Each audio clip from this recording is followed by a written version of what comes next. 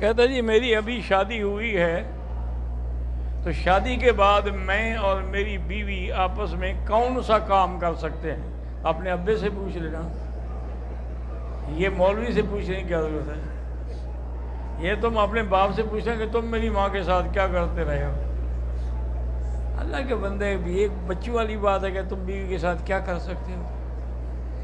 बीवी के साथ जो है वो नाजायज़ अमल न करो, गैर फितरी फेल न करो, बाकी तुम्हें इजाज़त है। अगर बीवी से बात करते हुए सफ़ेद पानी गाढ़ा सा खारिज होता है तो गसल तो नहीं होता उस पर, लेकिन वज़ू करना पड़ता है। कहते जी, मेरी भांजी है, उसको सांस की नाली में कैंसर हो गया है, अल्लाह माफ़ करे। तो उसके लिए दुआ, कि अल्लाह सबको शिफाता फरमाए। हर बीमार को शिफाता फरमाए।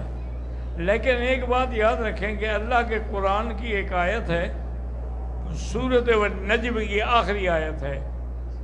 लईसलहा मिंदून का शिफा ये आयत जो है, इसके दो तरीके हैं। या तो एक ही दफ़ा एक हज़ार एक दफ़ा पढ़ के पानी में दम करके रख दें, या हर नमाज़ के बाद सौ दफ़ा पढ़ लिया करें और पानी में दम करके उसी को पिलाएँ। तो अल्हम्दुलिल्लाह, कई दोस्तों को मैंने ये बात बताई, अल्लाह ने उस आयत की बरकत से उनकी बीमारी को टाल दिया।